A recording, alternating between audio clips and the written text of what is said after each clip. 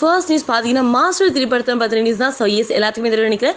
லோகேஷ் கங்கர் அஜயத்தில் ஜேவியர் பிரிட்டோ ப்ரொடக்ஷன்ஸில் தளபதி விஜய் அவர்கள் மக்கள் செல்வன் விஜய் சேதுபதி மாலவிகா மோகன் ஆண்ட்ரியா அப்படி இப்படின்னு சொல்லிட்டு ஏராளமான பட்டாளமே இந்த படத்தில் இணைஞ்சு நடிச்சிட்டு இருக்காங்க.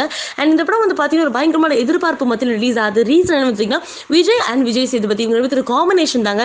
ஸோ விஜய்க்கு வந்து விஜய் சேதுபதி வில்லனாகவும் விஜய் சேதுபதிக்கு விஜய் வில்லனாகவும் இருக்க போகிற இந்த படத்தில் வந்து பார்த்தீங்கன்னா ஏப்ரல் நைன் ரிலீஸ் ஆகும் போது சம்மர் ஸ்பெஷலாக ஸோ எல்லாருமே ரொம்ப ரொம்ப ஆவலாக காத்துட்ருக்கோம் அப்படின்னு சொல்ல முடியும். ஸோ இப்போ ரீசெண்டான அப்டேட் தரணும்னா டுவெண்ட்டி செகண்ட் அதாவது இன்னும் கொஞ்ச நாளில் வந்து பார்த்தீங்கன்னா ட்ரெய்லர் வந்து ரிலீஸ் ஆக போகுது. ஸோ டீசர்லாம் இல்லை டேரக்டாக ட்ரெய்லர் தாமா அப்படின்னு சொல்லிட்டு எல்லாருமே ரொம்ப ரொம்ப ஆவலாக காத்துட்ருக்குற இந்த இதில் வந்து பார்த்தீங்கன்னா எல்லாருமே பொதுவாக இந்த படத்தோட கேரக்டரோட பேரெல்லாம் என்னன்னு சொல்லி தெரிஞ்சுக்க ரொம்ப ஆவலாக இருப்பீங்க இல்லையா? அந்த வகையில் வந்து பார்த்தீங்கன்னா நம்ம தளபதியோட பேர் இந்த படத்தில் ஜேம்ஸ் துரை ஷார்ட்டாக வந்து ஜேடின்னு கூப்பிடுவாங்க அப்படின்னு சொல்லிட்டு எல்லாத்துக்குமே தெரிஞ்சிச்சுங்க அந்த நியூஸ் வந்து அந்த ஐடி கார்டோட பரவலாக வந்துருச்சு.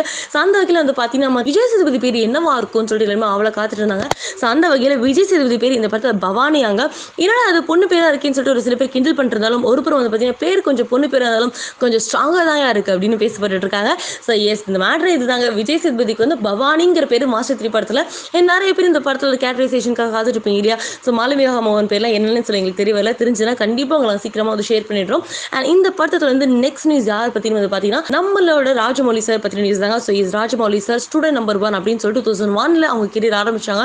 அதுக்கப்புறம் தொடர்ந்து நிறைய படங்கள் டூ தௌசண்ட் டுவெண்ட்டி ஒன் வரையும் வந்து பார்த்தீங்கன்னா ஒரு வெற்றியான டேரக்டராக திகழ்ந்துட்டு இருக்காரு அண்ட் அவர் வந்து எதுக்கு நோன் வந்து பார்த்தீங்கன்னா ஹைலி ஃபேண்டசி ஆக்ஷன் ஃபிலிமுக்கு நோனான ஒரு பர்சன் இந்த ஹைலி ஃபேண்டசி அப்படிங்கும் போது அது மகதீராலேருந்து ஆரம்பிச்சு ஈகா அது இதுன்னு சொல்லிட்டு லைனாக வந்து பார்த்தீங்கன்னா பாகுபலி வரைக்கும் சூப்பர் டூப்பர் ஹிட் அண்ட் எல்லாருமே வந்து பார்த்தீங்கன்னா they look up to him அந்த அளவுக்கு பார்த்தீங்கன்னா அவங்க படங்களோட குவாலிட்டி மேக்கிங் எல்லாம் சூப்பராக இருக்கும்.